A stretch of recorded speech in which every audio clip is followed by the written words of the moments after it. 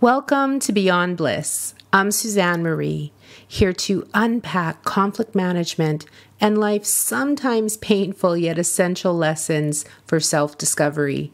Join me as we explore stories and insights paired with actionable strategies so you feel prepared to try something different. So, to get started talking about basically conflict, I guess. I was going to say a fulfilled life, but we'll get there. Um, I remember one story someone had told me once when we were talking about how to put a vivid picture to the essence of the conflict in our lives, in our relationships, and even within ourselves. And and I'm, I'm going to communicate it to you the way this person did with me. So just imagine wherever you're sitting right now, or if you're driving, or whatever it is that you're doing, just imagine that in the space around you, there are 10 black cats. Okay?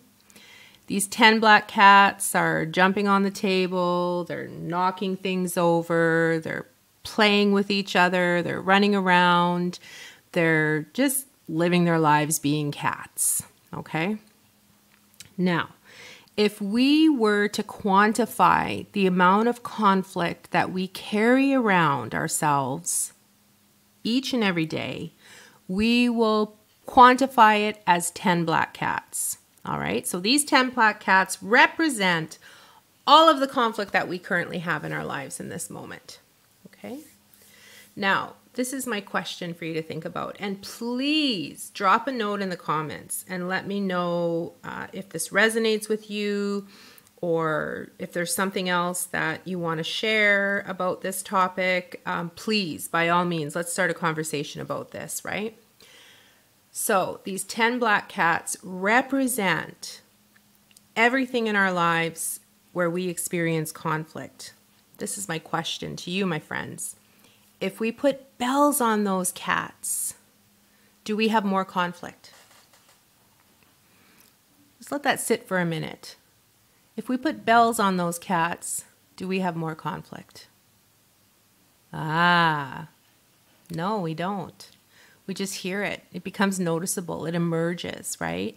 It manifests itself and then poof, it pops to the surface and we hear, you know, dialogue. We hear arguments, disputes, we are engaged in these difficult conversations, right? We can carry on in our lives each and every day believing that everything is just hunky dory, um, you know, cruising along, and then all of a sudden somebody puts a bell on and we're shocked. This is the thing about conflict.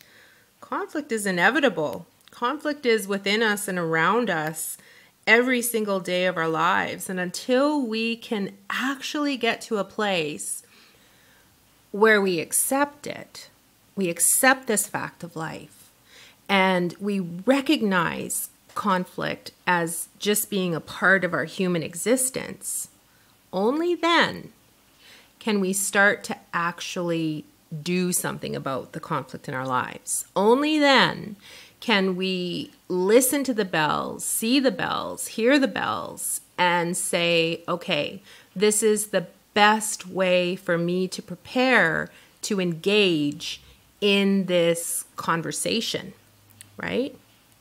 I'm so excited to share some skills and strategies with you. Um, but in the meantime, please do drop a line in the comment box um, share any thoughts or ideas that came up and your takeaway. What's your takeaway from this, right? What's your takeaway? So, thanks again for stopping by. Have a wonderful rest of your day. I'll catch you next time.